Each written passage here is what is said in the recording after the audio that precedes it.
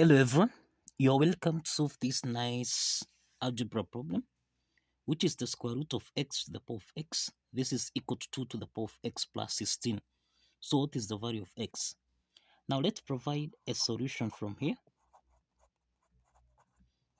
Now we have that the square root of x, this is in the form of square root of a, which we can express as a to the power of half. Now applying this property, then here we have x to the power of a half raised to the power of x. This is equal to 2 to the power of x plus 16. The next step is that x to the power of a half raised to the power of x. This is in the form of a to the power of n raised to the power of m, which we can express as a to the power of n multiplied by m. Applying this exponent property, then we have x to the power of x over 2. This is equal to 2 to the power of x plus 16. Now, the next step from here is to apply natural logarithm on both sides such that we have ln of x to the power of x over 2. This is equal to the ln of 2 to the power of x plus 16.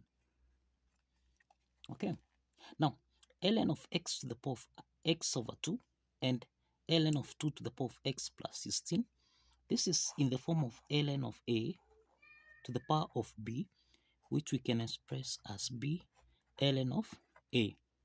Now applying this property, then we have ln of x to the power of x over 2 becomes x over 2 ln of x this is equal to x plus 16 multiplied by ln of 2 the next step is let's open the parentheses here so that here we have on the left hand side we have x over 2 ln of x. This is equal to x times ln of, of 2 this becomes x ln of 2 then plus. Here we have 16 times ln of 2 this becomes this is 16 ln of 2 now the next step let's take x ln of 2 on the left hand side so that we have x over 2 ln of x minus x ln of 2 this is equal to 16 ln of 2. So let's multiply both signs by 2 so that we have 2 into the parentheses. This is x over 2 ln of x then minus x ln of 2 close the parentheses. This is equal to 2 multiplied by 16 ln of 2. So that now 2 and 2 here simplifies so here we have x ln of x. Then subtract 2 times x ln of 2. This becomes 2x ln of 2. This is equal to 2 times 16. This is that 2 ln of 2. Now since x is common here, we have x and x here. We can factor out x so that we have x into the parentheses this is ln of x minus 2 ln of 2. Close the parenthesis. This is equal to that 2 ln of 2. Now, since this is a power, we can express this as x into the parenthesis.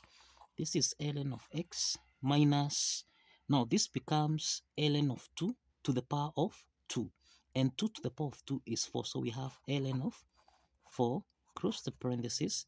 This is equal to 32 ln of 2. Now, we have that ln of x minus ln of 4. This is in the form of ln of a minus ln of b, which we can express as ln of a divided by b. Applying this property, then we have x into the parenthesis. we have ln of x over 4. And this is equal to that 2 ln of 2. Okay. Now, the next step is let's divide both sides by 4 so that here we have x over 4 ln of x over 4 then divided by 4 so that now here we have x over 4 ln of x over 4 this is equal to that 2 divided by 4 this is equal to 8 ln of 2 now we can express 8 8 is the same thing as 4 multiplied by 2 so we have x over 4 multiplying by ln of x over 4. This is equal to 4 times 2 ln of 2. Remember this is a power, so this means we can pull it on the right hand side here. This becomes 2 to the power of 2. And then we have x over 4 ln of x over 4. This is equal to 4 multiplied by ln of 4. This is 2 to the power of 2, which is 4. Now, the next step from here, we can introduce the exponent property so that the exponent e to the power of ln of a, this is the same thing as a. So this means that exponent e to the power of ln of x over 4, this is x over 4, this is the same thing as x over 4. So we can substitute x over 4 with exponent e to the power of ln of x over 4. And then we have here, we can express 4. This is the same thing as exponent e to the power of ln of 4. Now, substituting this, then we have ln of x over 4 multiplied by exponent e to the power of ln of x over 4 this is equal to ln of 4 multiplied by exponent e to the power of ln of 4. Now the next step from here, we can introduce the Lambert W function.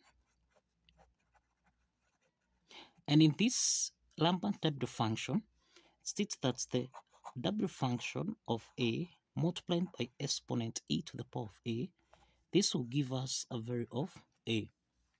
So let's apply this Lambert W function on both sides so that we have the W function of ln of x over 4 multiplied by exponent e to the power of ln of x over 4 close the parenthesis this is equal to the W function of ln of 4 multiplied by exponent e to the power of ln of 4. Now, applying this property here, this, this part here, this is the same thing as a. Remember, it's the same ln of x over 4 and ln of x over 4. So this means that applying the W double function here, on the left-hand side, we have ln of x over 4 this is equal to now if we check on the right hand side here applying this Lambert W function this this is the same thing as a and also this is the same thing as a so we have here ln of 4 all right. So we can simplify here ln and ln here so that we have x over 4 this is equal to 4 so let's multiply both sides by 4 and this means that the value of x here is equal to 4 times 4 which is 16 so this is the value of x. This is the value of x the next step from here is to verify that this value of x here satisfies the equation so let's verify quickly now if you recall if you recall we have that the square root of x raised to the power of x, this is equal to 2 to the power of x plus 16. Let's substitute the value of x, which is 16. So we have the square root of 16 raised to the power of 16. This is equal to 2 to the power of 16 plus 16. The next step is that the square root of 16, this is the same thing as 4, to the power of 16. This is equal to 2. This should be equal to 2 to the power of 16 plus 16, which is equal to 32. We can express 4. 4 is the same thing as 2 to the power of 2. Then raised to the power of 16. This should be equal to 2 to the power of 32.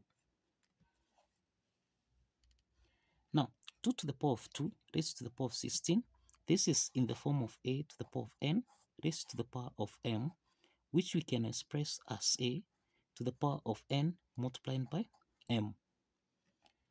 And this implies that we have 2 to the power of 2 times 16. This is equal to 2 to the power of that 2. And this is equal to 2 to the power of 32. And this implies that the left hand side is equal to the right hand side.